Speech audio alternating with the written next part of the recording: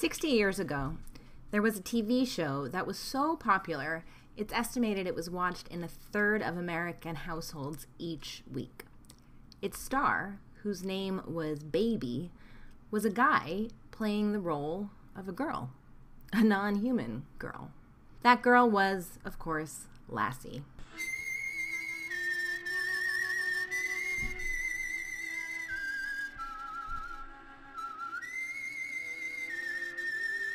Baby has long since left us. The show is only on in reruns, and today, most people have not heard of Lassie's famous trainer, Rudd Weatherwax, who was responsible for many of the 20th century's most famous dog actors. But Lassie's best friend is still around and still hanging out with dogs like it's his job. Today, I have for you an interview with Jon Provost, who played Timmy on the show Lassie for most of his childhood. He spoke to me about Weatherwax's progressive and positive reinforcement based training methods, what it was like to grow up off camera with Lassie, and about his continued work with dogs. Fun fact did you know there was actually never an episode where Timmy fell in a well? Can you believe that? Before we get started, I just wanted to suggest that you go check out my brand new one hour long masterclass. It's called Three Simple Things Every Dog Owner Needs to Know to Teach a Dog Quickly and Easily Without Force, Pain, a Major Time Investment, or Fancy Equipment. It's a presentation where I talk about how I got into dog training, how it kind of revolutionized how I see the world You'll learn to think about the way your dog learns, specifically, how to think about the way in which your dog is learning thanks to classical conditioning all the time. I talk about how to use food appropriately in training, and I will show you how to train the single most important behavior that we teach to our dog students at School for the Dogs. And you'll learn about School for the Dogs' new online courses. Just for registering, I will send you my ebook on the dog training triad called Three Keys to Dog Training Success. You can find all this and more at anniegrossman.com slash masterclass. And now for something completely different. Hi, my name is Annie Grossman, and I'm a dog trainer. This podcast is brought to you by School for the Dogs, a Manhattan based facility I own and operate along with some of the city's finest dog trainers. During this podcast, we'll be answering your questions, geeking out on animal behavior, discussing pet trends, and interviewing industry experts. Welcome to School for the Dogs podcast. Thank you for joining me I'm really excited to be here talking with Jon Provost, who played the iconic character Timmy in the show Lassie. Just a little bit of background. I reached out to Jon maybe 10 years ago when I was working on the show Too Cute Puppies and Kittens because I needed a photo from the show Lassie and I was trying I was an associate producer and I was trying to find one that I could use copyright wise and I, I got the idea that I bet I bet the guy who played Timmy on Lassie would have some and uh, we emailed a little bit back then and I thought you were really interesting. Jon. why don't you uh, you introduce yourself and and just talk a little bit about uh, what you're doing these days? You know, everybody remembers Lassie and you know it was a great thing to have been involved with. I mean, I mean, who doesn't like Lassie? I mean, nobody has ever come up to me in the last, should I say, sixty years and said, "Oh, Lassie, we hated Lassie." Would never happen.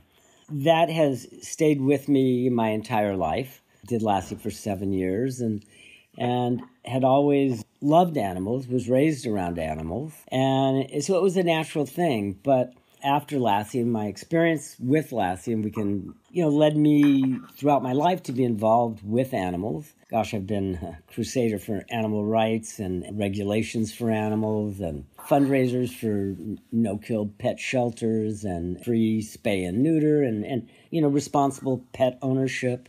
was on the board of governors of Canine Companions for Independence. We supplied service dogs to people that had uh, disabilities other than blindness for free.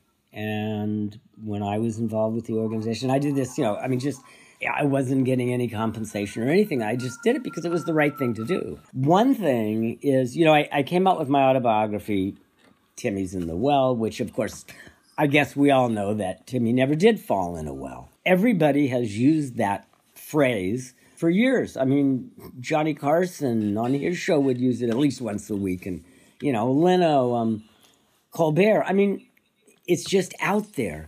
And um, people even come up to me and say it all the time. Oh, my cat comes up and purrs at me. I go, What is it? Timmy's in the well. Well, it never happened. So my wife, Lori Jacobson, and I, you know, we wrote my autobiography and it came out in um, 2008. And uh, Timmy's in the well, but, you know, it starts from way before Lassie because my career started before and after Lassie. But we are working on not quite a sequel, but something special with that uh, Timmy's in the Well. So we've been working on that and uh, excited about that.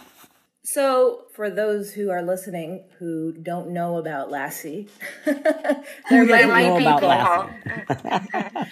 there might be people alive today who don't know about Lassie or aliens who fell to Earth. I mean, I grew up with Lassie on uh, Nickelodeon. There you go. Well, you know, Annie, do you realize that Lassie is still on in reruns in over 50 countries? On my website, you know, jonprovost.com, I get emails from all over the world.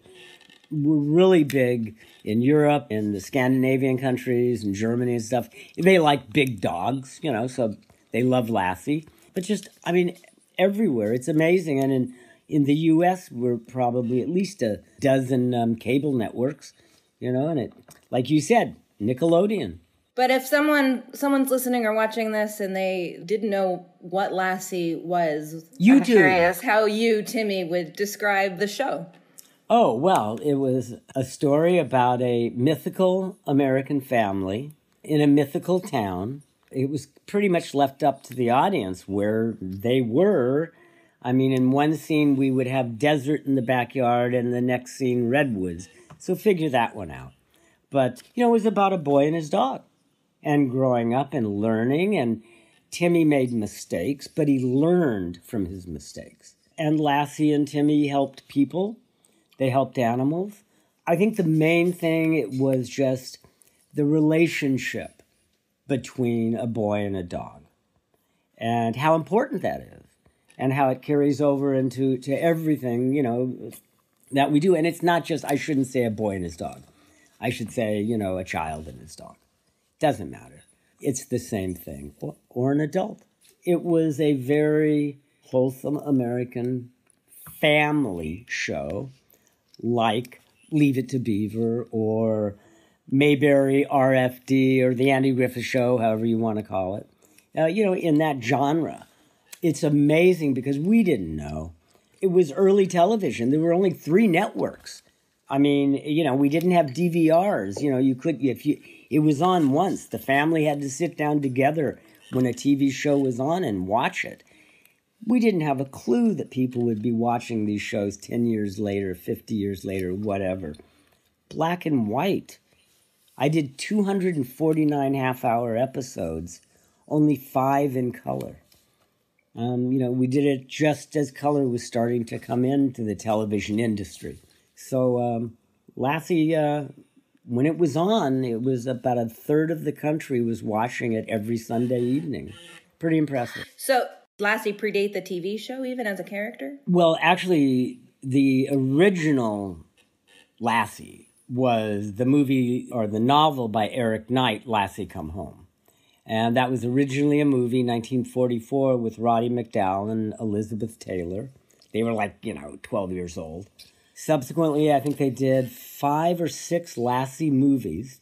Then, a few years back, they actually did a, a live Lassie radio show before television. That lasted a short period of time. And then they started the first Lassie series in 1954 with uh, Tommy Rettig, and he played Jeff, and he owned Lassie. Did the show, Tommy did the show for three years. He outgrew the part. They brought in uh, Timmy, total different family. And then Timmy had Lassie for seven. I did the show for seven years. Was Lassie um, always a collie? Always collies, and always played. Obviously, Lassie is a female. If it was a male, it would be Laddie. Always played by a male. From the original Lassie, whose name was Pal in the movie Lassie Come Home, to the Lassie today, who is uh, the 12th generation direct descendant from the original Lassie, Really? who is owned by um, Bob Weatherwax, the son of Rudd Weatherwax. Who I would really like to talk to you about. Just funny anecdote though about genders and dogs on TV. When I was working on the show Too Cute, at one point I had to go in, you know, they would have these storylines about like, you know, Gypsy or whatever the dog, you know. Bella is in trouble today, but Bella was actually a boy dog, but it fit to the storyline. And I had to go through at one point and point out all the instances where you could see that like Bella or whoever actually had a Well, now. had a peepee that they had to then Lassie being, Lassie being a collie, you know, they have very long hair in that region. Well, their whole body. So it was never an issue. And he was, all the Lassies were always intact males. But the most amazing part was every year Lassie would have puppies on the show. You got a male dog laying down there with a half a dozen little puppies all snuggling up, and this dog's going, when is this scene going to be over? So every year Lassie had puppies. I didn't know that. yeah, well, we always did an episode, you know, that where Lassie had puppies. But a lot of people wonder out why Rudd Weatherwax decided to use a male instead of a female dog. He told me the the males were, and this is true. The males were larger, more colorful in the animal kingdom, right? The males are always the birds, whatever. They're the colorful ones. The guys are. So the dogs are bigger, more colorful, more heroic looking. Lassie was a hero. And um, he said, Red said this, that the males were smarter and easier to train than the females. I always get in trouble on that, but he said it, I didn't, okay? The real reason, Annie, when the females come into heat, they lose their coat and they don't want to work. We're making movies, you know, you got to work. So it really had nothing to do with the intelligence of the dogs, but it had to do with that and the truth that the males were more photogenic. Tell me about Weatherwax. It's a name I've heard many times, and I'd love to know more. He was an incredible man. He was an incredible trainer. I started the show when I was seven years old. I was very impressionable. I did not have a grandfather in my life. I never did. They were both dead. Rudd became my surrogate grandfather. He looked after me on the set like he looked after his dogs. We worked with every animal. You name it, we worked with it. I saw every other kind of trainer in the business. You know, I saw the, all the other famous dog trainers, cat trainer, whatever. And I never saw anybody that trained and used the methods that Rudd did. Rudd was always praise and reward. His dogs were treated better than his wife.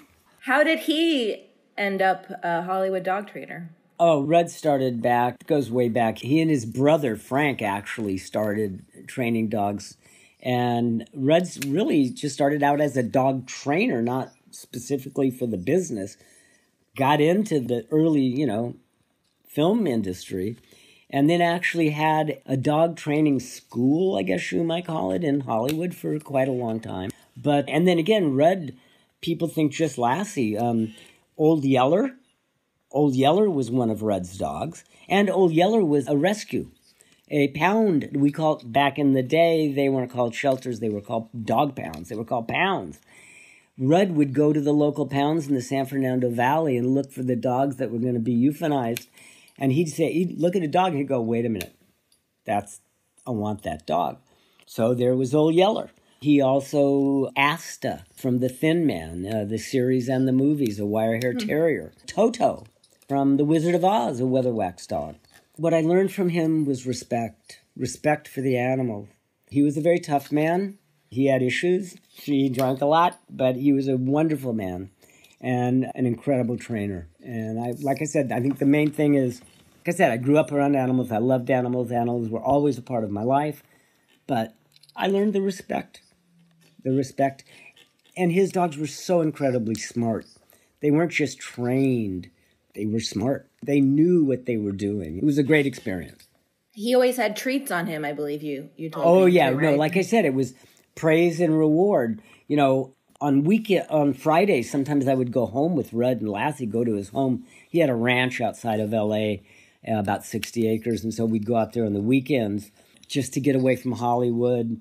I'd play, you know, fish in his pond, and also it was a, a great way for me and the dogs to bond, to be together more. Something you told me last time we spoke about him rewarding you with points. Oh, oh, oh, yeah. Oh, the treats. Though one of it was the treats and the points. Yeah, the treats. No, he always had treats after every shot. After every time the dog did something, he would give the dog a treat, a morsel.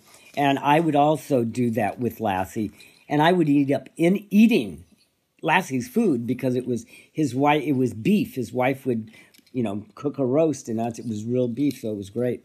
When I first started this show, like I said, I was seven. Rudd didn't know how I was going to work with Lassie. I mean, we got along great, but he said, "Look, kid," he said, "don't bug Lassie." He said, "Don't you know? Don't pull his tail. Don't tease him. Don't sit on him. Don't ride him. Let's just be good."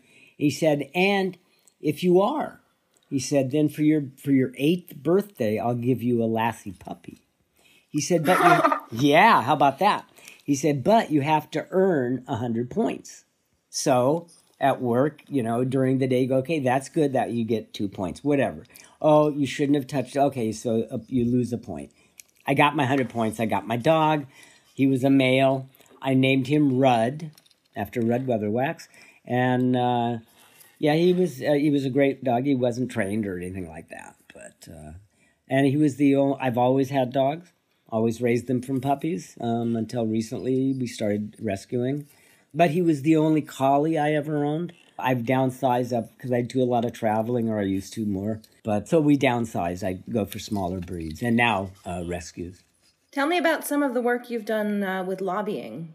Well, in California, we've worked on um, you know just different animal rights laws. One big one that I worked on it was actually called Susie's Law, and there was a movie made about it called Susie's Law and I have a small part in that movie. And I think about maybe 10 years ago.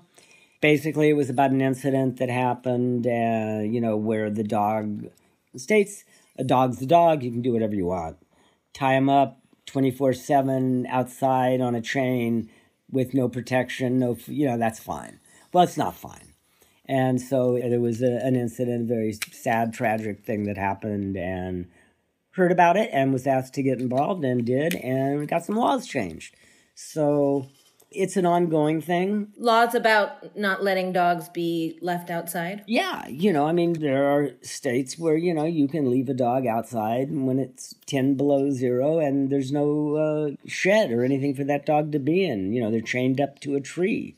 Is that right? No, that's not. So that's cruelty, right? In my eyes, it is. And a lot is for no kill shelters and free spay and neuter. I mean, that's, you know, we have to be responsible. That's kind of things that we have to do. And, and it's unfortunately because our organ, big organizations in the U.S.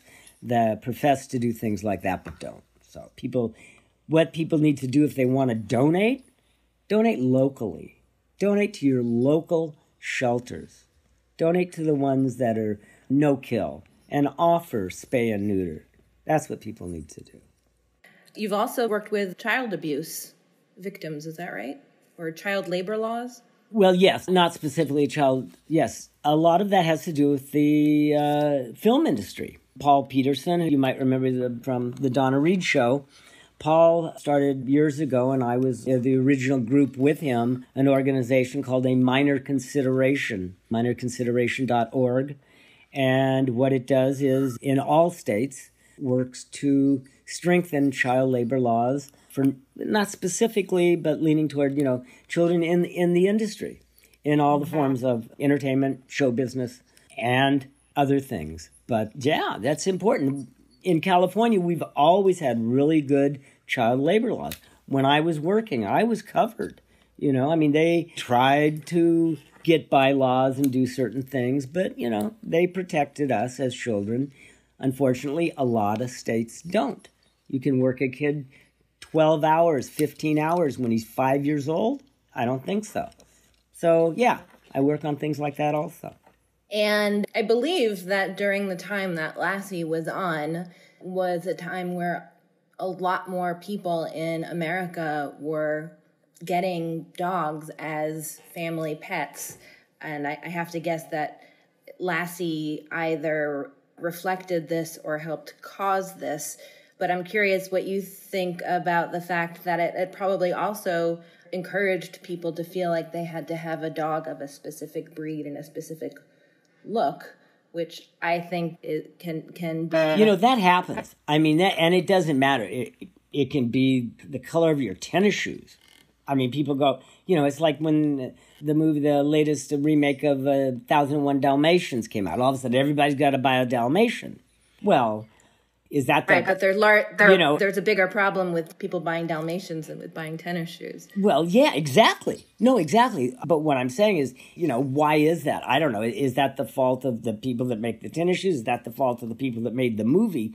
No, it's people watching. And then the the sad part is, you know, people they see that dog or that cat or that horse, whatever it happens to be and they see how it's performing on that movie or on television, they go, oh, well, that's, oh, I like that's what I want, without researching the temperament and really what that animal is like. And so then they buy that animal or whatever, and then find out, whoa, it's not what I thought it was going to be, and then you've got issues. But I'm sure when some, when anything becomes popular and people, you know, want it or that or whatever, and so yeah, when Lassie was on and um, you know, real popular all the time, people had a lot more collies. You don't see a lot of collies now, yet there are a lot of collies in the world. Every year, not this year, but in the past, every year they have the collie convention. People come from all over the world. I've been a few. When I go, it's kind of crazy, but I'm like the Pope, you know.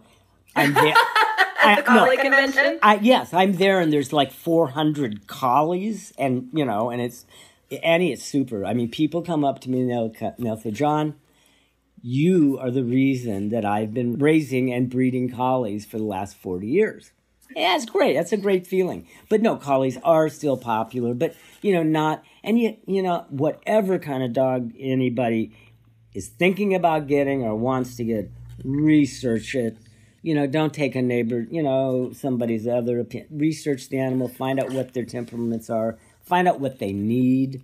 You know, you don't want a, a border collie, you know, in a one bedroom apartment on the 50th floor in New York City. Right? Although I know I know some people with border collies yes.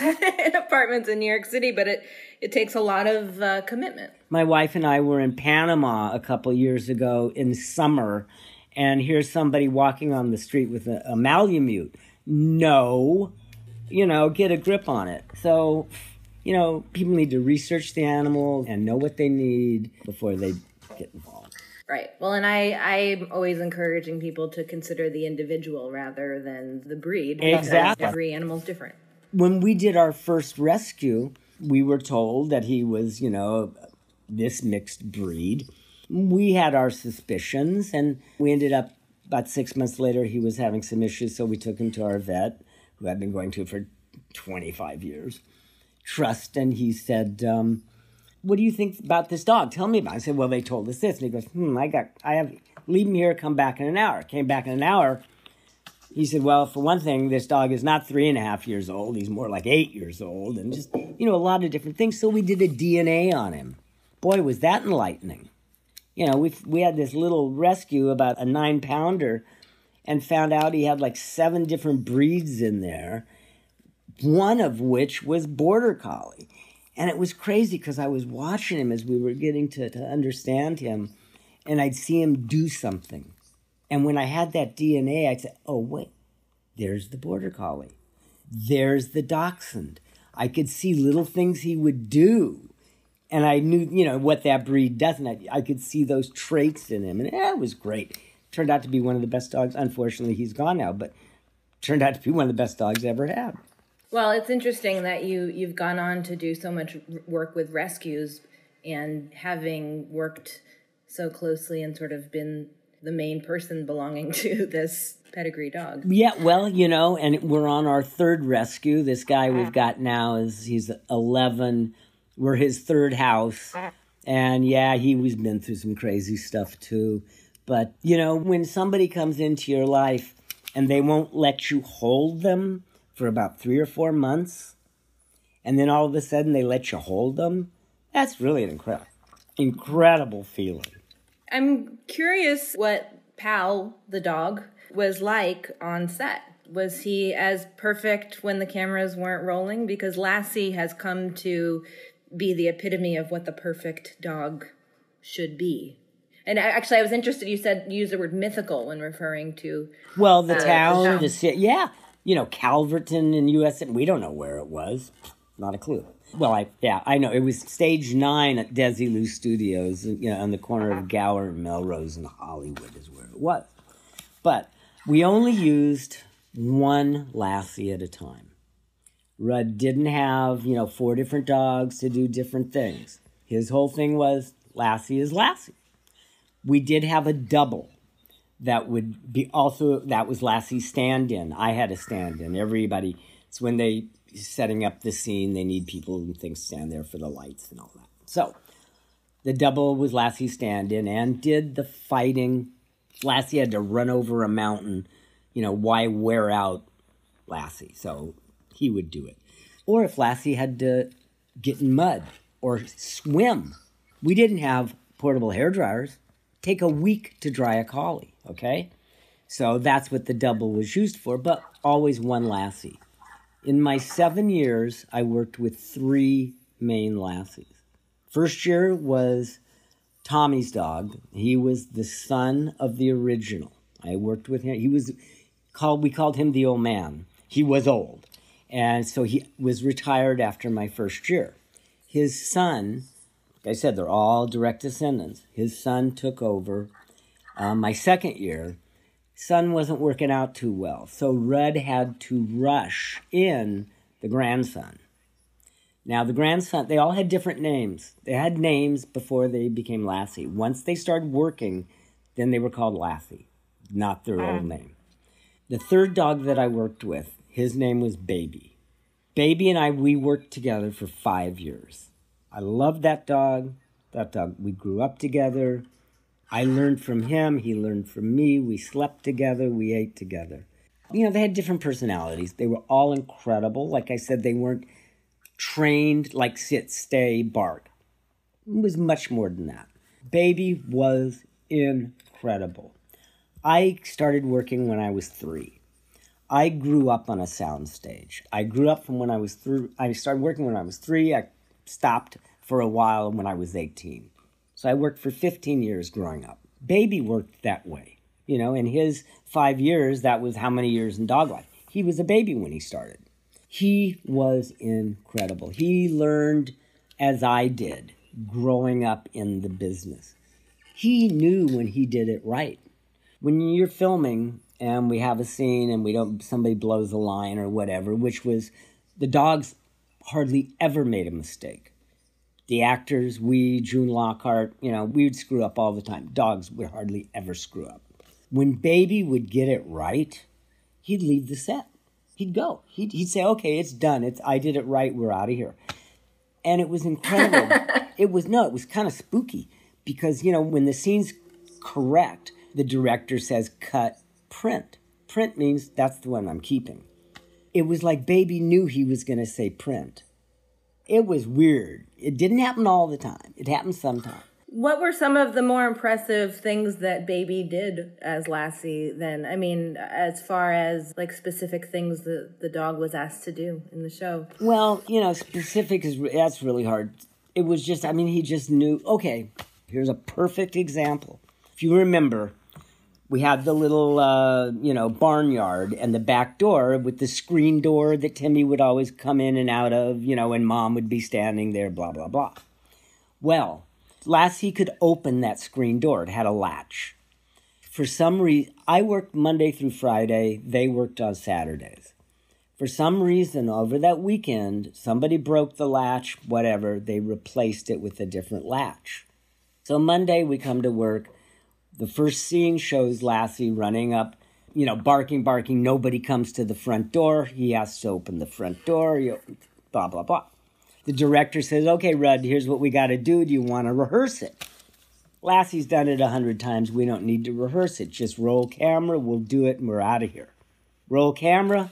Lassie runs up, goes up to the stops, turns around, looks at Rudd, and says, They switched the latch on me. I can't open this.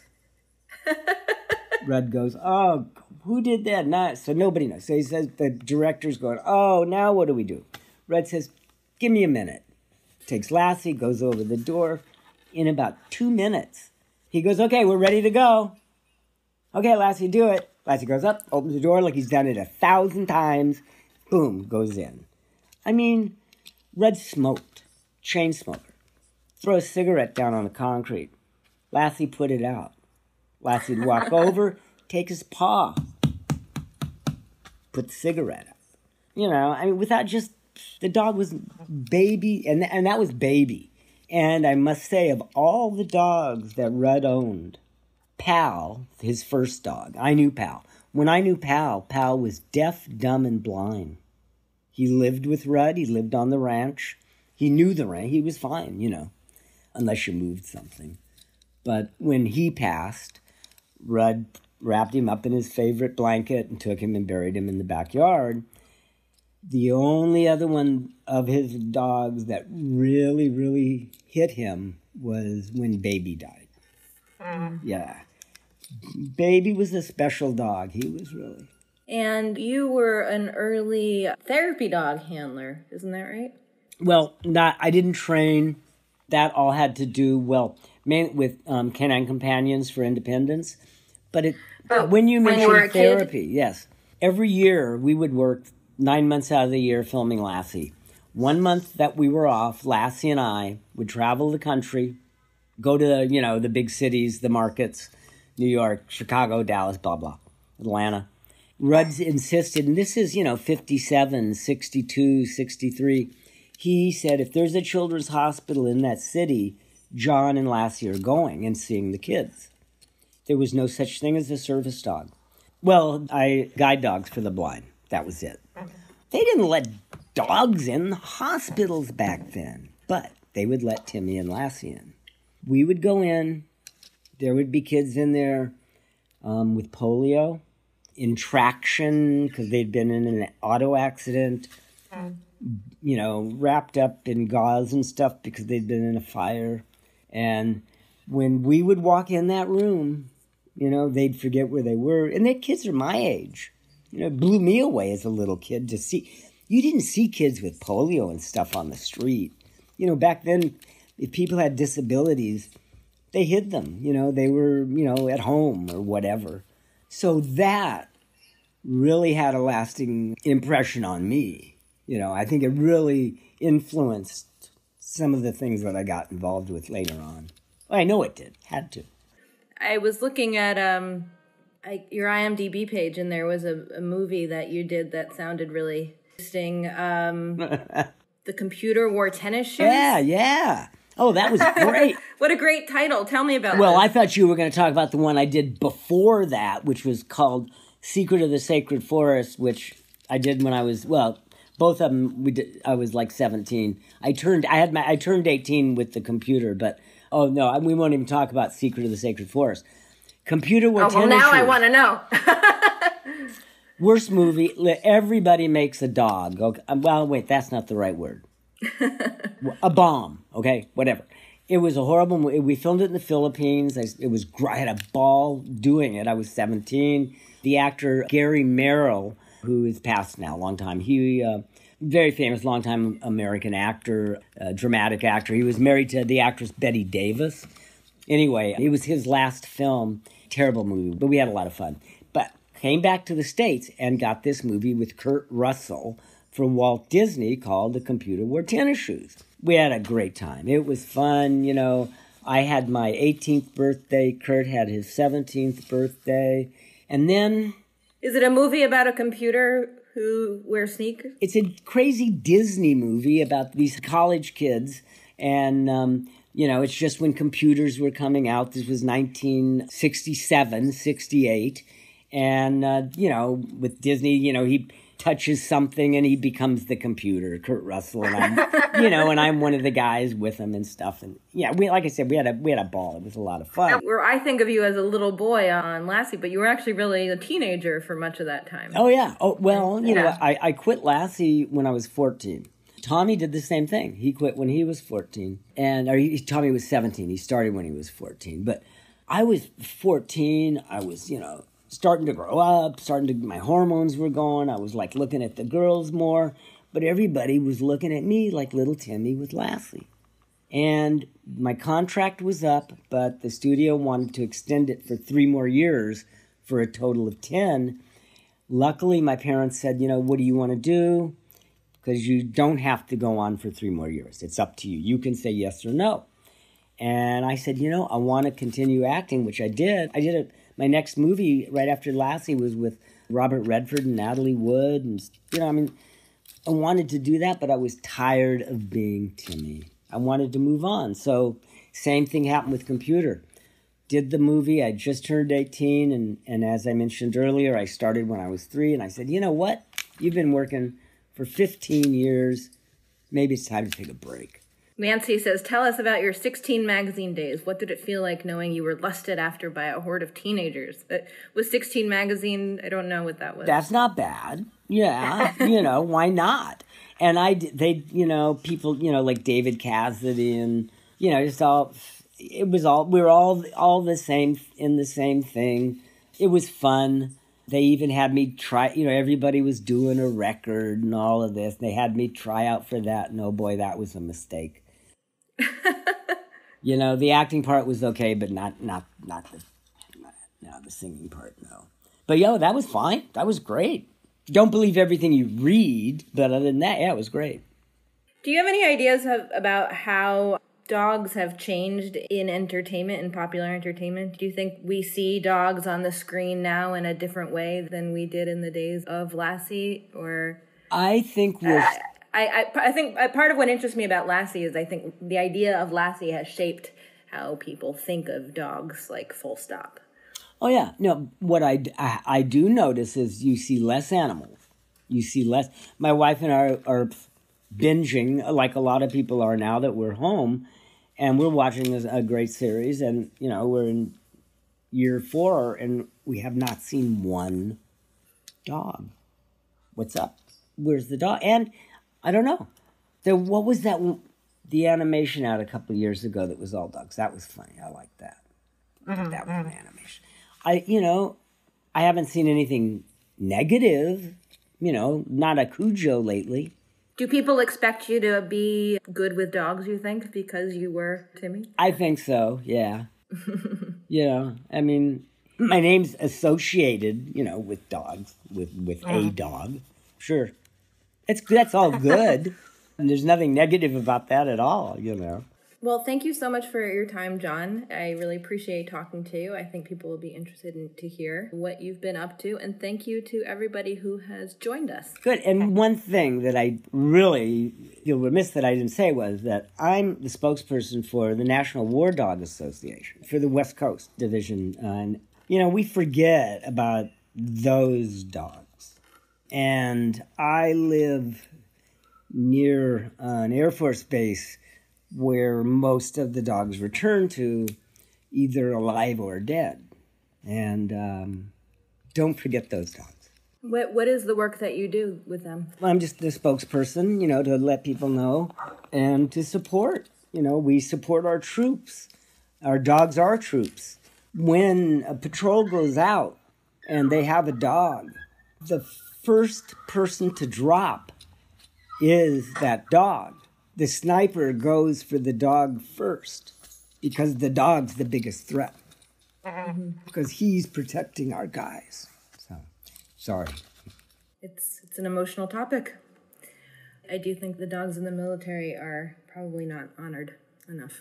No, they're not. And fortunately, now we've actually been able, you know, the guys or the gals that were out there, you know, with they sleep, eat, they live, you know, with their dogs. And after they've been together through hell, you know, they were separated and they couldn't bring them home. They couldn't be together. Even when those dogs were retired, well, that's been changed. Now, you know, if, if a handler wants that dog's been retired, you know, to keep him or her, you know, bring it home, they can do that now. You know, they have to go through a lot of hoops, but, you know, we worked on that. Thank you, Jon. You know, if you've never seen the show Lassie, you might not appreciate what a super dog, and I mean super like Superman, super dog Lassie was on that show. In nearly every episode, Lassie is either rescuing some small animal, other dogs, puppies, Timmy, Timmy's friends. He really is like a superhero. After talking to Jon, I started to reflect on how Lassie has affected the way that we all think about dogs, whether or not we even ever watched the show Lassie. And it made me wonder what would have happened if we might have seen some of the training that went into creating this uh, dog character that remains so beloved. I guess what I mean is that I think that Lassie might have set the bar really high in the average American household for what a family dog should or could be. And what was left out was all the behind the scenes work that got this dog to do such incredible feats with, of course, the help of some good editing, I'm sure. Maybe if people could have seen Rudd Weatherwax at work, a movement towards positive reinforcement based training maybe would have become more popular. Instead, I think what happened was that dogs got punished for not being Lassie. Jean Donaldson, in her book Culture Clash, talks kind of about this. I went back to reread the first chapter the other day and I wanted to share a little bit of it with you. I was uh, surprised to see the book is actually dedicated to Lassie. The first chapter uh, is called Getting the Dog's Perspective Walt Disney vs. B.F. Skinner. A book published in the early 1990s refers to the moral code of dogs. It became a bestseller. It seems that most people still buy into the Walt Disney dog. He is very intelligent, has morals, is capable of planning and executing revenge, solves complex problems, and understands the value of the artifacts in Walt's home. Nobody wants B.F. Skinner's dog, the input output black box who is so obviously not the furry member of our family. It's been marketed all wrong, I think. Skinner was right, but has gotten bad press. The truth must be presented in a way that people will start to buy into. They have to, because not getting it has led to the death of countless dogs. Here is an example to illustrate the difference. A dog has been reprimanded every time he has he was caught chewing furniture. Now the dog refrains from chewing furniture when the owner is home, but becomes destructive when left alone. When the owner comes home and discovers the damage, the dog slinks around, ears back, and head down. Walt's view. The dog learns from the reprimand that chewing furniture is wrong and that the owner hates it. The dog resents being left alone and, to get back at the owner, chews the furniture when the owner leaves. He deliberately, in other words, engages in an act he knows to be wrong. When the owner comes home, the dog feels guilty about what he has done. BF's view. The dog learns that chewing furniture is dangerous when the owner is present, but safe when the owner is gone. The dog is slightly anxious when left alone and feels better when he chews. It also helps pass the time. Later, when the owner comes home, the dog behaves appeasingly in an attempt to avoid or turn off the harsh treatment he has learned often happens at this time. The owner's arrival home and or pre-punishment demeanor have become a predictor. The dog knows he's about to be punished, he doesn't know why. There is no question whatsoever that the second view is the accurate one. The question is not which interpretation is the truth, but rather why anyone still argues the point. The medical equivalent would be a significant percentage of the American public thinking disease was caused by imbalance in humors rather than microorganisms. The accurate information has been around for decades, yet most people who own dogs haven't learned it yet. One reason for our astonishingly poor understanding of dogs is extremely slow trickle down from the experts, those in applied behavior educating one owner or one class at a time rather than something on the scale of public service announcements or spots on Oprah. Not only is this missing fantastically inaccurate information about dog behavior is actively disseminated on reality TV, but I think there is a second reason for the slow accept- acceptance of realistic interpretations of dog behavior simple reluctance to let go of anthropomorphism. Behaviorism, made famous by Skinner, has suffered some serious backlash since its assault on the world of psychology in the mid 20th century, largely because it could be successfully argued that hardcore behaviorism comes up short for understanding humans in all their mega brain complexity. When it comes to animal training and behavior modification, however, the fit is incredibly good, but so far, no amount of evidence makes the behaviorist model palatable to the average dog owner. The implications of this are really important. The impressive staying power of Walt's warm hearted but distorted view of dogs is a perverse measure of how much we like them. We want them to be smart, morally good, Many cynics see dogs as superior to people in their loyalty and trustworthiness. By contrast, the behaviorist model hasn't caught on in the mainstream because it seems to reduce dogs to input output machines. Our fear is that if we accept this viewpoint, we strip dogs of their status as honorary humans with the logical extension of negative ramifications for their welfare. In other words, humans are tribal. Our compassion and consideration for other beings is strongly aligned with our perception of how similar they are to us. And a strong measure of that similarity is intelligence. IQ is still an acceptable prejudice. Heated ethical discussions ensued when the question of language acquisition in great apes was raised. Without a possible capacity for language, it had somehow seemed more okay to accept a utilitarian attitude towards them. No one much questioned the premise of intelligence as criterion for being considered for compassionate treatment. Our species has a long history of incredible violence and horror perpetrated essentially because the victims were too far outside our perceived tribe. Our current tribal boundaries have a lot to do with species, IQ, and moral integrity. Our bond with dogs is obviously strong, but they are the wrong species. To explain the bond, we compensate by exaggerating how much they resemble us in the areas of intelligence and morality. This is a typical example of a bias or attitude coming first, and then edifices of explanatory facts or fictions being built in support of it. This is from the first chapter of Jean Donaldson's Culture Clash. I highly suggest you check out this book. I will put a link to it in the show notes.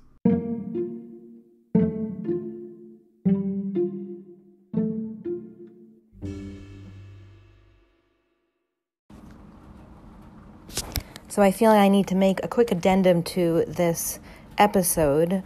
After I published it, Libby Sills, who's worked for School for the Dogs on and off for years and helps me sometimes with the podcast, sent me some videos of Rudd Weatherwax uh, with his um, his suggestions on how to train a dog, and uh, I really shouldn't have said that he was progressive and that all of his training was rooted in positive reinforcement.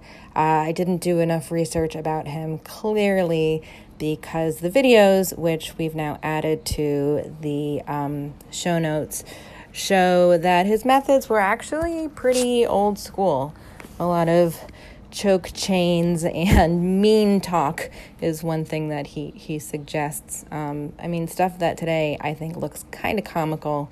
Um, so maybe I'll talk more about Rudd Weatherwax in future episodes after uh, I educate myself a little bit more about him. But didn't want to let this episode stand as it was without mentioning that uh, further research is needed on the topic of this very famous Hollywood trainer.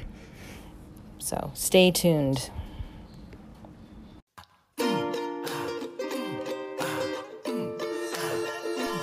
Thanks so much for listening.